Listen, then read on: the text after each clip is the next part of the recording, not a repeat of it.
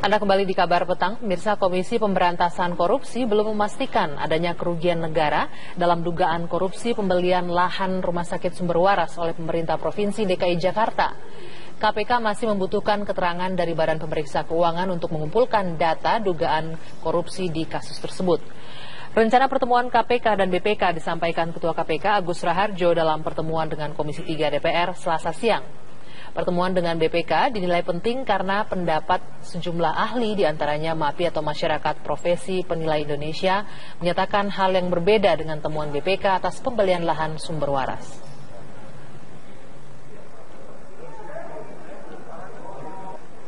kemudian kita putuskan iya kan. Hmm. Makanya tadi kan saya masih ngomong ada ketemu sekali lagi dengan satu instansi. Itu kita pengen undang BPK untuk ketemu dengan penyidik. Jadi kalau data dari BPK sendiri itu dianggap masih belum cukup ya?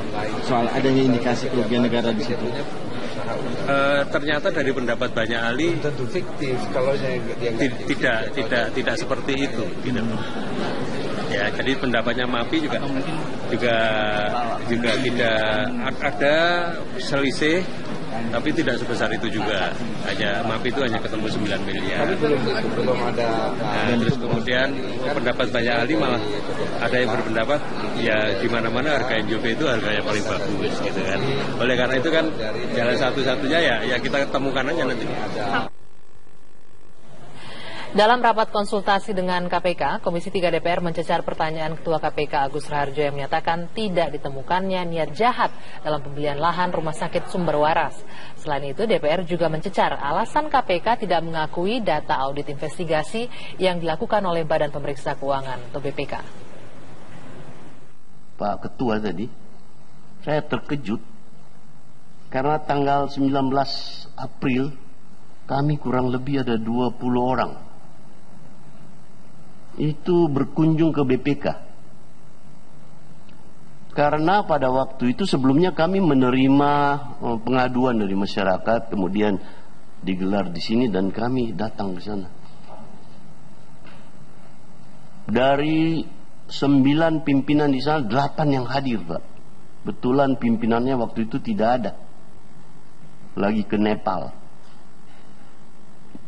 Delapan plus satu yang namanya Pak Nyoman itu mengatakan nggak bisa lagi dipungkiri bahwa telah terjadi korupsi di sumber waras. Jadi kalau ini pernyataannya benar, ya kita juga nanti ini kaget. Berarti kami ke sana menerima paparan yang tidak benar. Nah, ini bisa mungkin diberikan klarifikasi kepada kami agar kan pasti ini apa yang kita sampaikan ini pasti dimuat oleh media biar rakyat tidak terombang-ambing. Kalaupun pimpinan tadi menyatakan itu benar, mungkin baru kali ini kejadian data BPK tidak dipercaya. Kalau itu terjadi, maka yang kemarin-kemarin mungkin minta diaudit kembali. Karena data atau audit BPK ini sudah tidak dipercaya lagi. Bahkan muncul di era pimpinan KPK sekarang tuduhan bahwa KPK sekarang itu apa namanya melakukan proses penegakan hukum secara tebang pilih. Ini perlu dijawab oleh pimpinan KPK secara tegas, bahkan dengan data dan fakta. Bahkan tadi juga sudah diungkapkan oleh Pak Weni Warau, kalau misalnya dalam proses penegakan hukum kita, audit BPK itu menjadi salah satu apa namanya eh, alat bukti yang dipakai dalam penegakan hukum di kita. Tiba-tiba dalam kasus misalnya sumber waras, tiba-tiba itu dinafikan oleh KPK. Itu juga harus dijawab oleh masyarakat. Jangan sampai muncul begini kita saya di Praksipan bahkan berkali-kali saya bilang tidak pernah sedetik pun kita itu tidak mendukung penegakan hukum yang dilakukan oleh KPK. Bahkan kita berharap dengan adanya KPK mampu melakukan namanya trigger mechanism termasuk juga mendukung dan mensupervisi lembaga utama kita yang bernama kepolisian dan kejaksaan. Itu yang kita harapkan. Tapi jangan sampai niat baik, harapan masyarakat dan harapan kita semua sebagai warga negara Indonesia dan kami duduk di Komisi 3 atas nama konstitusi juga melakukan pengawasan terhadap KPK. Berharap bahwa ini KPK menjadi lembaga yang betul-betul fokus dalam proses pencegahan dan penegakan gitu. Penindakan terhadap uh, semua tindak pidana korupsi, tapi jangan sampai muncul pertanyaan-pertanyaan yang akhirnya sebetulnya menjadi apa namanya losing trust di masyarakat. Kehilangan kepercayaan KPK. Kami bangga dengan KPK selama ini minimum orang di Republik ini tidak terlalu banyak macam-macam ketika sudah dengar nama KPK. Tapi saya berharap juga bahwa jangan sampai KPK ketika mengambil sikap-sikap dalam hal penegakan hukum itu nuansanya terlihat. Ini ini omongan masyarakat yang saya sering diskusi karena saya tinggal di dapil tiap hari pulang pergi. Jadi sering saya diskusi dengan mereka bahwa kok kenapa katanya. Dulu sebagai data untuk bagaimana kerugian negara dan lain-lain diambil dari BPK. Tapi sekarang ketika BPK ngomong persoalan kerugian negara, kenapa katanya? KPK tidak menganggap bahwa itu sebagai salah satu alat bukti. Bahkan sudah statement keluar dari ketua KPK dulu bahwa tidak ditemukannya apa namanya unsur niat jahat. Tidak ada niat jahat dalam persoal terjadinya peristiwa sumber waras misalnya. Ini jadi pertanyaan juga. Kalau terjadi tindak pidana korupsi, kalau tidak ada niat niat jahatnya, apakah itu dianggap tidak bersalah misalnya seperti itu?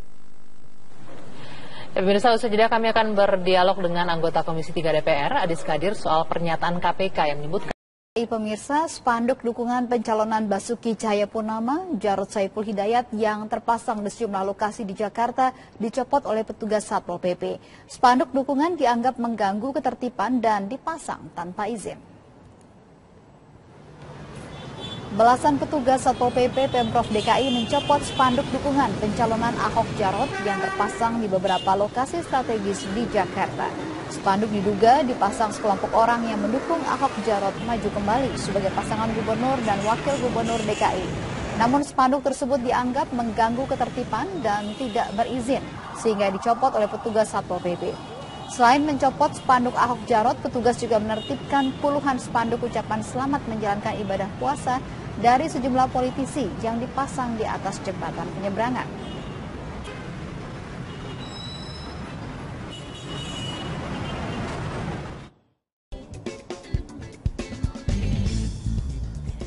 Pemirsa calon gubernur DKI Jakarta dari jalur perseorangan Basuki Cahaya Purnama mengimbau agar para pendukungnya di Pilkada DKI memperhatikan aturan jika ingin melakukan pengumpulan dukungan. Hal ini dilakukan setelah dua aktivis teman Ahok yang sempat tertahan pihak imigrasi Singapura Sabtu lalu. Dan Ahok mengaku tidak mengetahui rencana dari dua aktivis teman Ahok yang akan pergi ke Singapura. Ia baru mengetahuinya setelah mendapatkan kabar penahanan mereka oleh pihak imigrasi. Ahok menambahkan aturan di Singapura memang melarang kegiatan politik yang dilakukan oleh negara lain di wilayahnya. Oleh karena itu, Ahok mengimbau agar para pendukungnya harus memperhatikan aturan jika ingin melakukan kegiatan pengumpulan dukungan terlebih di negara lain. Sebelumnya ada dua aktivis teman Ahok yaitu Amalia Ayuningtias dan juga Richard Sairang yang ditahan oleh pihak imigrasi dan dilarang masuk ke Singapura Sabtu lalu. Oleh pemerintah Singapura, keduanya terindikasi akan melakukan kegiatan politik teman Ahok. Setelah diisolasi selama 12 jam, keduanya akhirnya dipulangkan kembali ke Indonesia pada minggu pagi. Menghimbau orang-orang yang mau mendukung saya itu ya harus perhatikan aturan juga gitu. Jangan terlalu semangat sampai aturan itu dilanggar. Ya, jadi stres sendiri akhirnya kan dipanggil kayak begitu. Itu aja sih. Saya telepon tertinggal pesawat malam aja. Saya waktu koordinasi dengan dubes itu dia udah bantuin. Kita beralih ke informasi Gubernur DKI Jakarta Basuki Cahayapurnama atau Ahok mengakui hubungan baik terus terjalin antara ia dengan Wakil Gubernur Jarod Saiful Hidayat ataupun dengan PDIP. Namun kedekatan ini tidak terkait dengan isu kembalinya pasangan Ahok Jarod untuk maju dalam Pilkada 2017 mendatang. Di tengah berbagai aturan yang dinilai mempersulit Ahok sebagai calon independen untuk maju dalam perhelatan pilkada, muncul berbagai isu tentang terbukanya peluang pasangan Ahok Jarot untuk kembali maju dalam Pilgub DKI Jakarta 2017. Belum lama ini bahkan tersebar poster dukungan untuk Ahok Jarot dan terkait dengan isu ini Ahok mengakui pihaknya tetap menjalin hubungan yang baik dengan Jarot ataupun dengan PDIP. Namun ia menyatakan ia tidak mungkin meninggalkan teman Ahok yang telah berjuang mengumpulkan KTP sebagai syarat untuk maju dari jalur independen. Dari dulu juga cair-cair melulu. Kapan sih yang kental lu lagi? Emang susu kental manis? Kalau saya sih nggak mungkin ninggalin teman Ahok ya. Ini kan sesuatu yang kecewa berat ya kan bisa kecewa berat dong mereka. Meskipun nggak nyampe satu juta. Ya pemirsa di beberapa titik di DKI Jakarta kini terpampang spanduk Gubernur DKI Jakarta Basuki Cahayapurnama dan juga Wakil Gubernur DKI Jakarta Jarod Saiful Hidayat yang dibuat atas nama relawan Ahok Jarot. Beberapa pihak mensinyalir hal ini menjadi sinyalemen kuat Ahok akan kembali memilih berpasangan dengan Jarot untuk maju dalam Pilkada 2017 mendatang. Marcelina Gita akan memberikan informasi selengkapnya langsung dari Balai Kota DKI Jakarta. Ya Gita, bagaimana tanggapan dari Ahok sendiri menanggapi tentang beredarnya spanduk eh, Ahok dan Jarot ini? Menanggapi beredarnya spanduk Gubernur DKI Jakarta Basuki Cahayapurnama atau Ahok bersama dengan Wakil Gubernur DKI Jakarta Jarod Saiful Hidayah dinilai Ahok sebagai hal yang biasa. Menurut Ahok hal ini bukanlah sebuah sinyalemen kuat jika dirinya akan berpasangan kembali dengan Jarod Saiful Hidayah yang merupakan politisi PDI Perjuangan untuk maju kembali dalam Pilkada 2017 mendatang. Ahok menyatakan dirinya masih akan tetap berpegang kepada pendiriannya untuk tidak diusung oleh partai politik dan tetap akan memilih dalam jalur independen untuk maju dalam Pilkada 2017 meski yang meminatinya adalah PDI Perjuangan.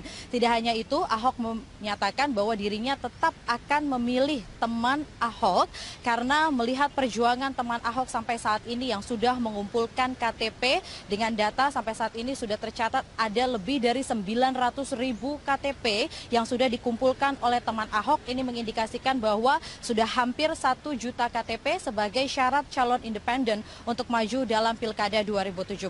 Bahkan Ahok juga menyatakan jika dirinya ini berminat dengan PDI Perjuangan maka sebenarnya sudah seharusnya dari jauh-jauh hari dirinya menyatakan untuk kesediaannya diusung oleh partai politik dan akan memilih Jarod Saiful Hidayat. Namun nyatanya sampai saat ini Ahok tetap akan memilih dalam jalur independen dan memilih pasangannya yakni untuk calon wakil gubernur DKI Jakarta adalah Heru Budi Hartanto untuk maju sebagai cagup dan juga cawagup dalam Pilkada DKI. Meskipun sampai saat ini Ahok menyatakan tetap berada dalam jalur independen, begitu juga dengan PDI Perjuangan yang menyatakan tidak akan mendukung calon independen. Namun, nyatanya belakangan ini suara di tubuh PDIP kembali menyebutkan pasangan Ahok Jarot bisa diusung dalam Pilkada DKI. PDI Perjuangan merupakan pemegang kursi mayoritas di DPRD DKI Jakarta dengan total ada 28 kursi dan untuk jumlah minimal kursi dalam mengusung pasangan calon adalah 22 kursi sehingga untuk jumlah kursi PDIP tersebut memungkinkan bagi PDIP mengusung pasangan calon tanpa harus berkoalisi. Namun nyatanya ternyata PDIP ini berkoalisi dengan Gerindra. Hal ini mengindikasikan bahwa PDIP dengan Gerindra ini seperti bernostalgia mengingat pada pemilihan kepala daerah pada saat 2012 lalu di mana PDIP dan Gerindra ini mengusung Joko Widodo dengan Basuki Cahayapurnama dan berhasil memenangkan kontestasi politik pada saat itu untuk mengalahkan calon petahana Fauzi Bowo. Namun ternyata tidak hanya Gerindra saja, namun PDI Perjuangan ini disinyalir akan berencana untuk membuat koalisi gemuk dengan memilih atau berkomunikasi dengan Partai Golkar, kemudian juga serencananya akan berkomunikasi dengan beberapa partai lainnya seperti sudah ada PKS, PAN, PKB, dan juga Gerindra. Dan berikut kita dengarkan pernyataan dari Gubernur DKI Jakarta, Basuki Cahayapurnama. Aku udah di dalam kandang kok. Makanya gini aja deh, nggak usah dengerin yang lain lah, semua teman. Saya tuh kenal sekali sama Bu Mega dan Bang Taufik Kemas. Saya tahu beliau pasti akan memberikan yang terbaik, tahu gubernur terbaik untuk orang DKI. Nah, kita kan tadi tunggu keputusan beliau aja. Beliau belum putusin kok. Tapi kan katanya minta Bapak nggak usah ikut jadi kader, tapi yang penting ada calonnya dari PDI. Itu mah dari dulu udah begitu sama aku ngomongnya kok. Dari dulu-dulu. Dari zamannya habis reformasi juga aku nggak pernah masuk ke PDIP, tapi yang jelas saya orangnya Bu Mega, udah gitu aja udah. Pak, ngomong soal Oh iya ketemu mah biasa aja kalau makan. Iya bahas macam-macam. Kita udah sampaikan juga bahwa saat ini tetap independen udah ngumpulin sejuta. Akan dilakukan oleh PDI Perjuangan dinilai juga oleh beberapa pihak sebagai bentuk bergaining kepada Basuki Cahaya Purnama untuk nantinya bisa berubah haluan untuk bisa diusung oleh PDI Perjuangan dan begitu juga dengan Wakil Gubernur DKI Jakarta Jarod Saiful Hidayat yang menyatakan sampai saat ini bahkan nantinya jika harus berpasangan kembali di Pilkada 2017 ia menyatakan siap untuk berpasangan kembali dengan Basuki Cahaya Purnama. Demikian dari Balai Kota DKI Jakarta, kembali ke Alvita.